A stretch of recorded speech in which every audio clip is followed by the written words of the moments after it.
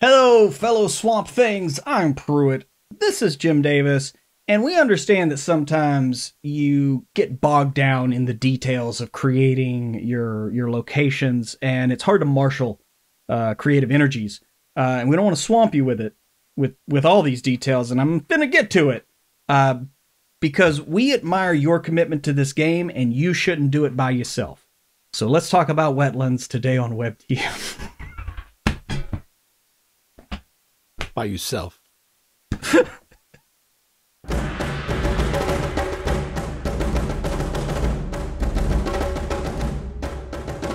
This episode is brought to you by Ghostfire Gaming and their new book, Grim Hollow The Monster Grimoire, live on Kickstarter now.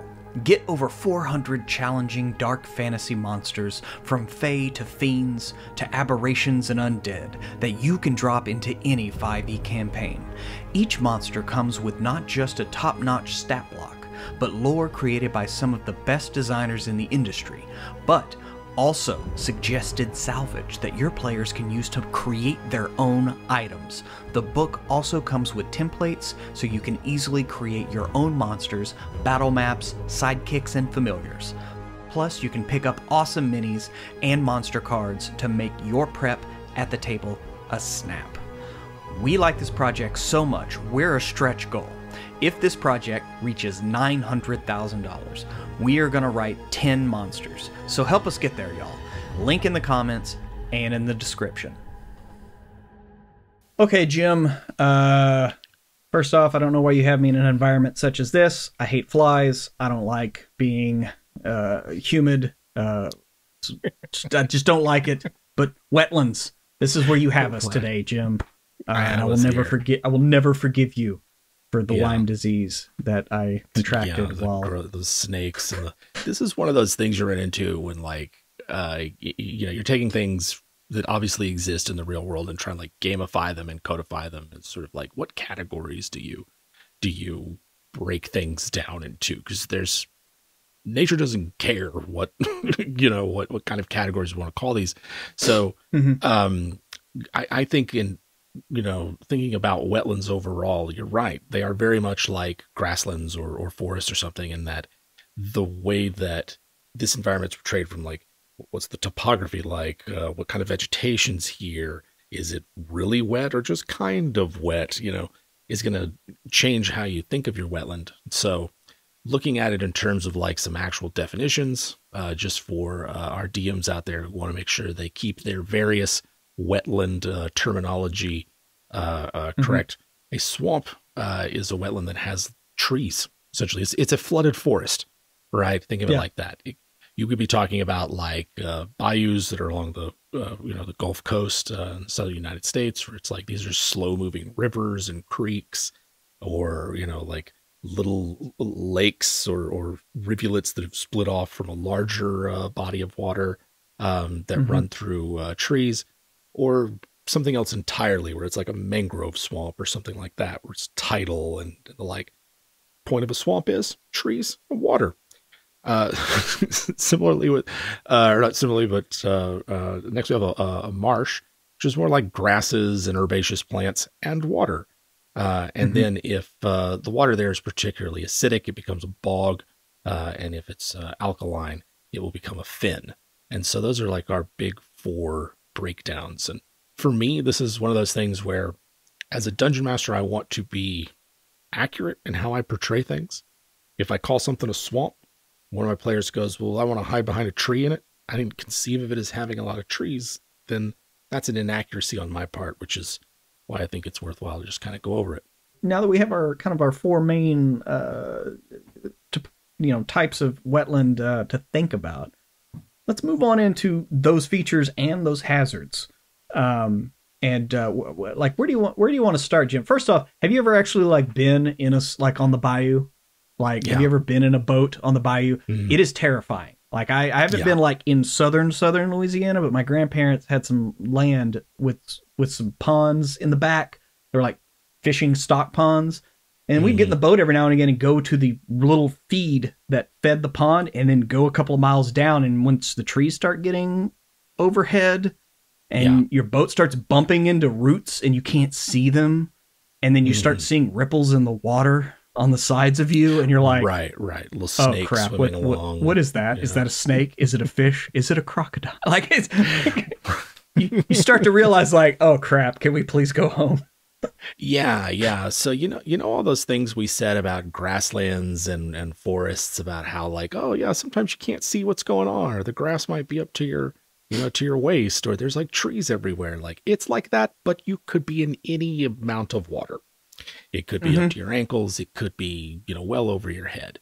And I think like it's that adding of the aquatic element to this that I think makes wetlands such great adventure locations and why you see swamps and marshes and the like uh, featured so prominently is it's like yeah it's it's a pain in the ass to get around here. You have like you know sticking with swamps you have all of the struggles of a forest of just like there's just stuff. There's trees everywhere. There that that means there's all kinds of leaves and branches uh, that fall out from them um roots and the like. Oh and also it's all wet. I need a boat or i'm gonna get stuck in the mud or or sink down into something I don't want, or not see a threat uh, before it's too late. Mhm. Um, and so I think like thinking about those uh, kinds of environments from that perspective, like what's it like to be here, is um, is is how we form the basis of turning these things into uh, to adventure environments. Um, yeah, and uh, and if you need your juices going, make sure to hit like and subscribe. Hit that bell. Get those notifications. Also, in the description and comments, there is a link to our uh, mailing list because we have big, big old things coming out, and you want to be part of that, and you want to know about it. Like you said, like if you're in a swamp and you need a boat, but you hit that part of the swamp where there's not as much water, so now you have to carry your boat Right. because you're going to need it again. But then having to watch out for like like you said, there's all kinds of leaves and branches that drop down that might cover what otherwise would be nothing but water. But now it has this surface on it that looks solid, and you might Looks step into solid. like, you know, you might step into a, a little little patch of water and get stuck in the mud, or but Right, just that right. messing with movement, which I think a lot of players like they hate that. Like players hate it when you mess with their I can move especially especially when you get into like the barbarians and the monks. Like, yeah, you can move 60 feet around, Right. but There's hidden pools. There's but there's snags. Yeah. yeah. yeah. But so- yeah, there's just- just the, the the impediment to mobility is is one of the biggest things uh, in a swamp that really gets me. I think so. And then following on that, like sort of the navigation of it, like, are you in the right channel? Are you, are you in the, you know, did you get lost? Did you get turned around somewhere? If the water level changes from the time of day based on like, say, tidal forces or something like that, if it's close to a coast, like all of these variables give you ways to sort of change the environment. But, but like when you think of, I'm in a boat, I've got the vegetation around me, everything's lightly obscured. I'm in, I'm, you know, I can barely see. There's just sort of pockets of dim light uh, that are under here um, and then you throw in like an enemy of some kind. You throw in that bullywug or lizard folk or or froghemoth or whatever, and uh, and now you have a really uh, dangerous environment to uh, to have an encounter in. Um, I I like that about them. I like that about even if you're going, you know, outside of a swamp and getting in more into like a marsh where there's sort of like reeded lakes and and uh, open channels that you can kind of uh, you know navigate your boat in uh, relatively safely. But then there's patches there's just like giant you know mounds of grass or something like that.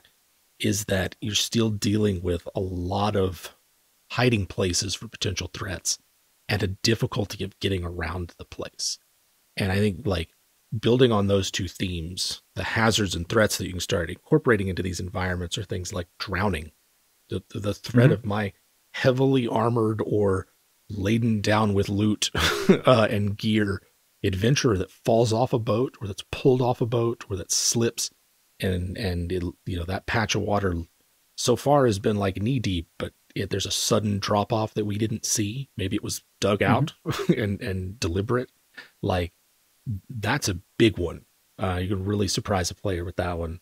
Um, quicksand is another right? Like it just looks like ground until you step on it, and the particulate matter agitates and be, basically becomes like a liquid and starts to kind Mhm. of slowly uh, suck you in if you're uh, you know struggling the like like can you get out of that can you get out of that while you're under attack by something um thinking of less like threats and hazards to like bodily harm and the like you mentioned humidity and this is where i start going like every time i have been in a wetland whether marsh swamp whatever right whether i'm in a boat having to walk through it i'm miserable i hate yeah. it it's terrible.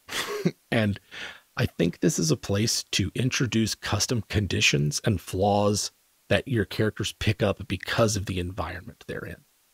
And especially if you're like, you have players who are looking for role playing prompts for what their travel experiences are like and like navigating mm-hmm. these environments, doing something like this is a good way to um, show them, like, yeah, this is affecting your character your character has yeah. this irritability flaw now, like right, like they're just short on patience. yeah, the agitated, agitated condition. right. Yeah, they're the miserable condition, the depraved condition, um, and and so it's like those are ways that you can portray this mechanically and kind of back it up, as well as giving role playing prompts, uh, without having to like constantly threaten the life of the party with quicksand and and clouds of stirges and things like that. mm-hmm inflict well, and them then you move misery. On to, yeah. Well, and then you move on to like, you know, we haven't really talked that much about fens or bogs, but like when you start adding in mm-hmm. that acidic level of a bog, but yeah. this is fantasy. So yeah. you can you can go and ramp that up a little bit and then make some of those pools sentient if you want and like mm-hmm. you start throwing in some some some version of like oozes or whatever oh, yeah. that are just waiting in these bogs. Uh right. I mean, I know, I know, yeah, that's not I know of another property. Yeah, that's not mud down on there. You don't want to step in it. But I know of another pro- another fantasy property that had a really cool scene in a bog. You know what I'm saying? Right. So, yeah. talking about one like, where a horse gets uh, lost. Wow, now you just reminded me of that. Oh god, now I'm oh. gonna cry about Artax. See, I'm telling you, it's in uh, fantasy. Was, yeah, was, swamps. I was, I was talking more about Lord, Lord of the Rings in the oh. in the with the in, yes, I, in I know what you now. Yeah. Mm, mm. yeah that scene I, always I, really got to me because the the thought of like drowning. Uh, oh yeah, like especially when you have enemies that are just not trying to fight you; they're just trying to pull you down. Like right. thinking about yeah. that, and it doesn't have to be an undead enemy or whatever. Like this is what crocodiles do. They don't fight sure. things; they grab them and go to the bottom and spin until, until the thing stops yeah. moving. Until the thing so, stops moving. Yeah. DMs, I don't know how much you want to implement that kind of uh those kinds of tactics, but that is how they act. So Yeah, yeah, that's a good, that's a real good point. But I to like stick with bogs and like for for a minute, like. I mm-hmm. like a bog as an adventure site eh, and, and one of the features of it is is its preservative quality, right? Like right. there could be anything in there. There could be wood, there could be iron, there could be bodies, there could be treasure. It could have been sacrificed to something. If we want to take that acidic quality to them, why is that? Is there something here that's polluting this place and making it even more acidic? Going a step further, there's like the quaking bog where there's a layer of peat, which is just decaying plant matter, right? That that sits on top of it that makes it maybe seem like solid ground but it undulates and moves and has waves and maybe breaks apart and and floats atop uh, a bog pool or something like that. Like and what i enjoy about all of these things is that interplay between the aquatic and the the terrestrial right? Like being able to be on dry land wetland but also just the themes of menace and hidden threats and decay and the like that persist throughout them. Like they just have a menacing quality.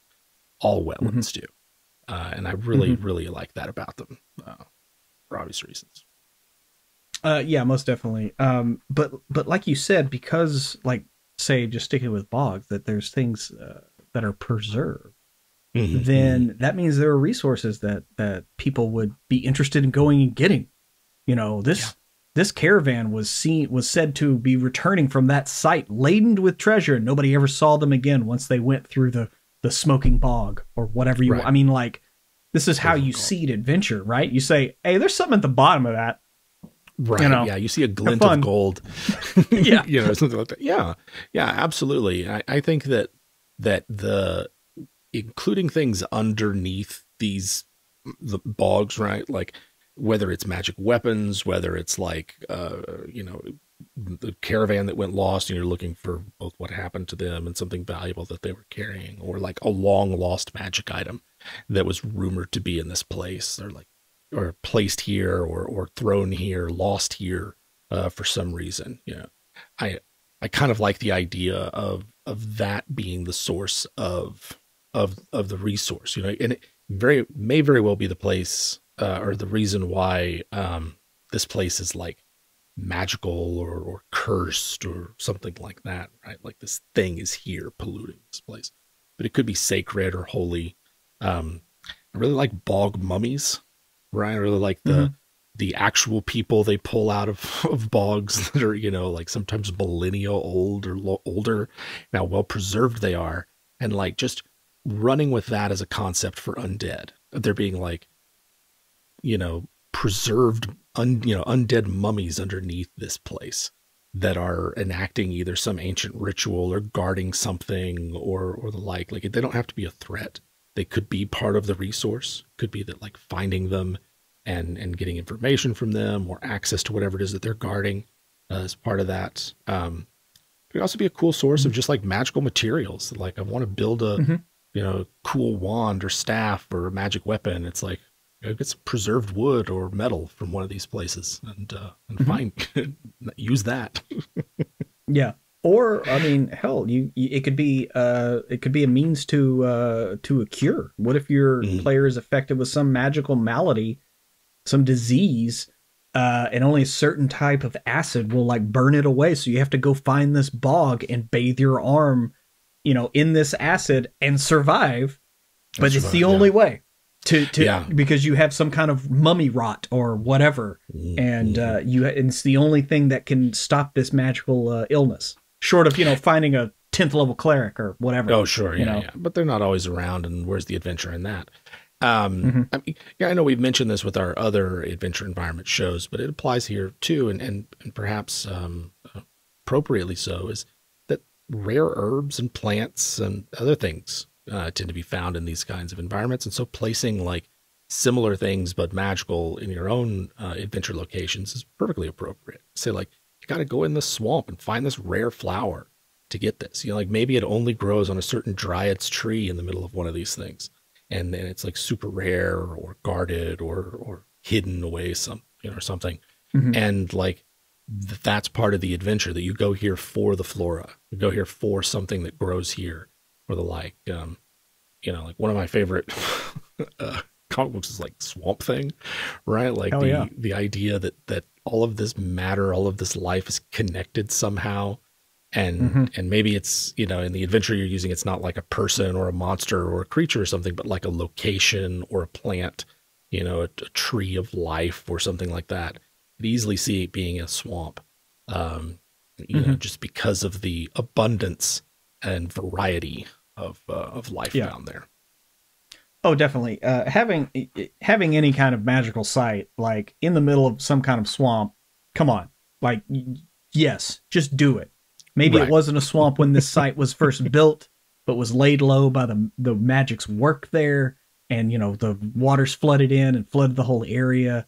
Who knows the reason for it? I mean, uh, one of my one of my favorite little just like tidbits of like uh, what was it Mad Max Fury Road when they're driving mm-hmm. and they go through the place uh, where everybody's up on like sticks. They're up on, you know, like lifts because they're going through some weird, gross, it looks like a bog uh, yeah. with just birds flying overhead, but that's it. Just people. Yeah. Oil having to use stilts to walk yeah. around, uh, like these bog walkers. Um, I mean, I just that to me, I'm like, I want to, I want to know what that village looks like. I want to know right, what it is right. they do, how they survive. Like, because those are that that is an interesting location and an interesting site for things to happen. I, I agree. Like there's something about a, a swamp that, that becomes very memorable. And one of the things that I was just sort of couldn't believe when I first read about it, maybe that's just because I'm dumb or something, but like the the quaking probably not logs, right? Those those giant yeah. mats of like floating material that have trees growing on them and you can walk on and like I immediately thought of like, okay, I, have to have an adventure location set there. Um, for me, this is a place that's like probably uh, uh, you know has some sort of primal connection or or significance to druids, nature magic, or something like that. Like I could see it being the heart of a swamp, or, or in this case, a bog. Like you know, the, the tree that's there perhaps is magical, or maybe there's like a magical animal that lives on this floating mat uh, as it as it just sort of like navigates the various channels and ponds uh, of this place, and that you know finding the location of it is the challenge, and then getting there and passing some sort of test or whatever by the the the guardian of that place would be a big part mm-hmm. of it. Um, I just like that image of a floating island that just has something rare and special on it. Yeah, you gotta find yeah, it. I'm, it's never in the same place yeah. twice. Oh, definitely. Uh, considering, like you mentioned earlier, kind of the meeting of like, like a, a bog like that would be a great meeting of like earth, water, and air. So what if maybe a, a small tree on that peat bog island got struck by lightning uh, from some god or something, and it just has like an eternal flame on it. So you have like a meeting of all four elements on this peat bog, and that's the only way you know it. Like in the distance, all of a sudden you see what looks like torchlight, mm, and yeah. you realize no, it's just this tree or this bush that's been on fire, and you can go talk to that burning bush. Not to get too biblical with it, but you know, maybe there's some you take your inspiration where and, you can get it. yeah, you take it where you can get it, and therefore you have like some kind of elemental bog where you can go talk to these spirits of just like of the maybe it's the the spirit of of this planet itself or like the earth itself yeah. uh, because this is the the coalescence of all the elements and you know this is where it finds its voice as it talks through the fire or something like that um, yeah yeah no that's really cool especially the four elements thing uh, I, I really like that um, I I uh I, I, mentioned earlier about sort of like the the the bog ghoul, bog mummy shrine mm-hmm. of some kind, and I've cooked up uh places for some of the uh, some campaigns that I've had where they're similar to that, where it's like this place is ancient, like when when this shrine was built here, this wasn't flooded, there was there wasn't a wetland, you know, and the the undead that are down there, as your boat passes overhead, you know, they swore an oath to defend this place always. And, you know, when it flooded uh, and became a bog, they just stayed. And they continue enacting these sort of rituals. And so, you know, finding out that, that it's even there as part of the, uh, the adventure and then like getting them to trust you, uh, would be another.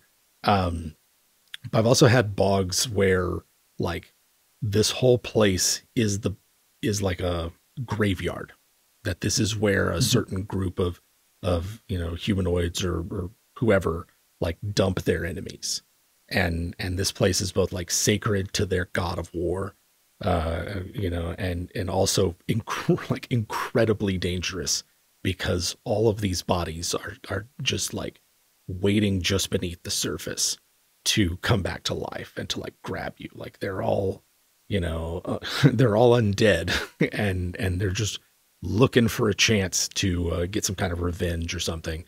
That's pretty much like mm-hmm. real direct reference to that bog you're talking about in in Lord of the Rings, where it's like this is the you know this is where all the dead are, and you could see them yeah. As you're walking through here. Stay on the path, stay on the log road, right? Don't don't leave the the floating log uh, footpaths that are around here, otherwise uh, they'll get you. You know that's a mm-hmm. um, that's probably really evocative. Yeah, and I mean, and uh, you know, uh, draw from all points of inspiration because it doesn't have to be something so you know undead and and death and negative. Like if you think about uh, the swamp in Avatar, mentioned that many mm. times because it's a very evocative place where right. this is like the central point of like vegetation in the world, and you can literally reach anywhere uh, mm. through this this the, the the sacred heart tree at the center of the swamp. Yeah, yeah, um, yeah. And it has a life of its own because it is has so much life connected to it. Like, you know, these are going to be like very important places to for the druids and any kind of naturalist in your world. And right. I mean, hell, it doesn't have to be an adventure location. It could be part of your background. Like, yeah, you know, you could have a, a druid or a, a, lizard folk that is from one of these places, and this is their home, and they know the ins and outs they know where you don't step, you know, that kind of thing. Yeah. Um, certainly. And, and so, uh, it doesn't always have to be just for DMs. Like, uh, no, no, that's that's very true. That's that's a good point. That's a real good point. Um, I'd say like another big one for me that I really want to use as an adventure location. I'm, this is one that I could see being like a, a mini sandbox or or even bigger. Is like take a, a, a mangrove uh, forest, right, with the trees that sort of the roots that lift them above the water and and you know they're they're specially adapted for you know, like coastal regions things and a lot of times like there are these you know a lot of stuff going on in the roots of the trees or in these shallow coastal waters uh, of these kind of environments and just blow it up right make it so that they're they're just gigantic trees that you ply your boat underneath and between these root structures and so like mm-hmm. settlements are built further up on the trees or something like that and sort of take like the imagery and and ideas behind the like a wood elf tree village or something like that mixed with more of the swampy wetlands style of gaming of like you're going to need a boat to get around here there's a lot of dealing with like submerged dungeons and underwater ruins and things like that but then there's also the verticality of it being a forest and all of the things that are in the canopy above you and mm-hmm. and like i think you could have a really cool and different type of environment to set adventures in uh, with that. That's that's a, that's one that's I, I just uh, always come back to and just think about what you could do with that. Mm-hmm. Swarms of dire piranha, things like that. well, yeah, yeah, Terrible. no, definitely, yeah, that, yeah.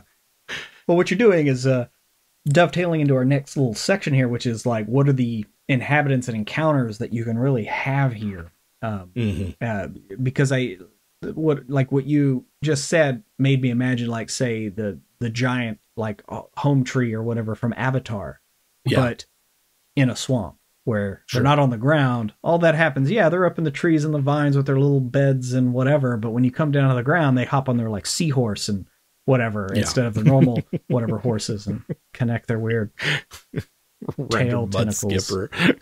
yeah, salamanders, oh, little mud yeah. skipper, crawfish you know uh, right right yeah imagine having a giant crawfish boil where it's just one right. big crawfish in a just, in a pot yeah. not a roasted like a pig uh yeah like the inhabitants of these places all right i'll be honest i gotta make a dungeon in a dire beaver dam like i need to right yeah. and so like dire beavers are one of those things that i just to me like i i i hear that and i'm immediately kind of terrified right i i don't really mm-hmm. want to see anything like that. I don't want to really think about it. I'm not really sure why. Um, but yeah, just this sort of like giant sort of creature that swims around and chews up the environment. It's not here to like kill you. It's not a menace or, or something like that, but it's it could care less the damage that it's doing uh on, mm-hmm. you know to everything else around here by damming up the place and you know maybe you have to go in there and get a pelt or something but I don't know, just a big pile of logs and sticks and debris that, that have little tunnels dug out from them seems like really cool and, and necessitates the inclusion of dire beavers in your encounter tables. Um, well, well, yeah. I mean, use the Hoover Dam as as your basis. Right. Yeah, big, yeah. You know, go big.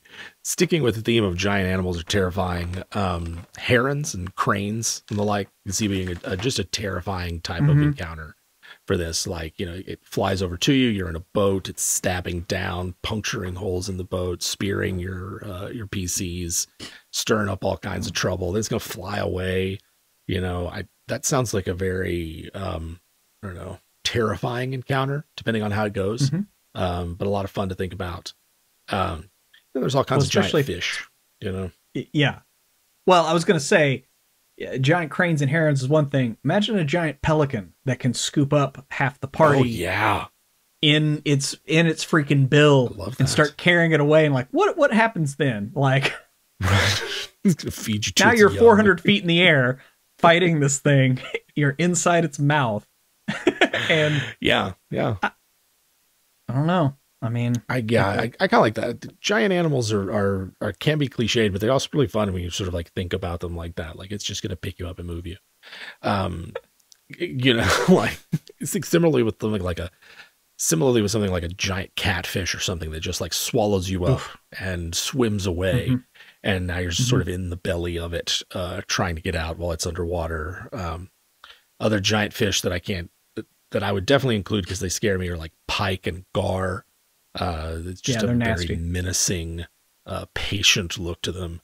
And then of course everybody's favorite, like the giant crocodile. You know, it, it's anything that could like swallow your whole boat or capsize it, uh, or that you could tame and ride around on, uh, is uh, is definitely gonna be included in uh, in the swamps and wetlands and the like that I'm uh, I'm building. Moving on to like the actual monster monsters uh, that could be there. There's some classics that you find in wetlands: trolls, black dragons, hags, uh, hydra, froghemoth. Who doesn't love the inclusion of a froghemoth uh, in Mhm. their uh, wetlands? Um, also, like the shambling mound. I was that one sticks out to Oh, me yeah. as being a, a a memorable encounter the first time you come across one of those. So there's just a lot of like really iconic monsters you can draw on. Um, but I really find that like just thinking about the natural fauna that will be there and making them monstrous is is almost always uh, something that gets my juices going because it's like I, I don't know they're they're kind of already monstrous just you know they're animals so you think of them that way.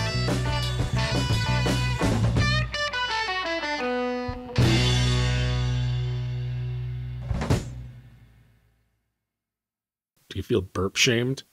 Oh Don't let man. others shame you for your burps and farts. Yeah.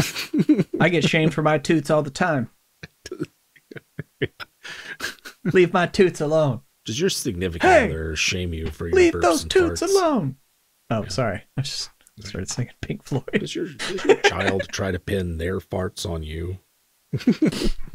Oh, we just pin them all on the animals. That's why it's good to have a dog and a cat, Always good. so that no matter what happens, you can always look to the animal